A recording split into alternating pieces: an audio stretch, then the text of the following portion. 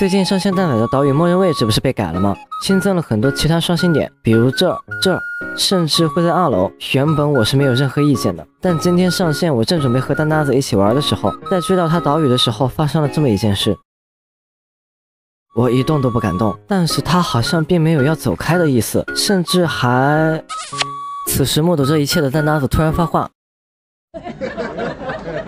我看着远去的蛋搭子，心里五味杂陈。紧接着，让我没想到的事情发生了，他变得更放肆了。我找遍蛋仔岛，终于在边缘的一处角落里找到了他。以往各种情况我都能想到办法讨好他，但今天这种情况还真是第一次。我顿时犯了难。正当我一筹莫展的时候，他突然走过来，主动对我说：“听到这句话，我也是很识相，立马带着他到钓园里准备钓鱼。只是我没想到他还不会钓鱼。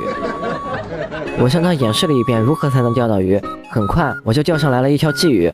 他盯着我手里的鱼，似懂非懂的样子，随后抛出了他的第一杆。看着他发力的样子，我突然有点好奇，他第一条会钓上来什么品种的鱼？哦，是一条黑鱼。又来。此时的我略显尴尬，试图钓一条其他品种的鱼来缓解尴尬。可是，我跟他讲鱼塘里还可以钓到很大的鱼，看我们谁先能钓上来。结果我的话刚说完，我是杰瑞米瓦德，生物学家兼极限钓鱼迷，水生生物侦探，出色的垂钓者。